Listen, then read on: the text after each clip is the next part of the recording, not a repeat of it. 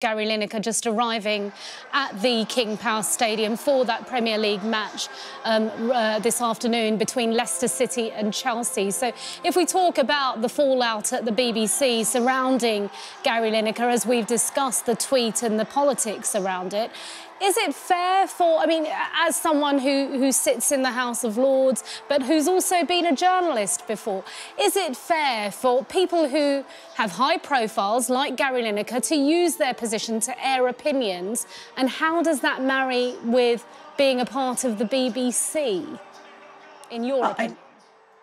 I think it's perfectly okay for the BBC to have guidelines that it wants its senior people and indeed all its people perhaps to follow.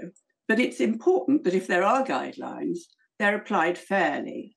And I can't understand why Gary Lineker shouldn't be allowed to say what he thinks if Alan Sugar is allowed to say what he thinks.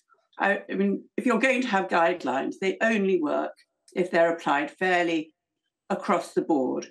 Uh, one can't escape from the fact that in this case, they look as if they're being applied on party political lines.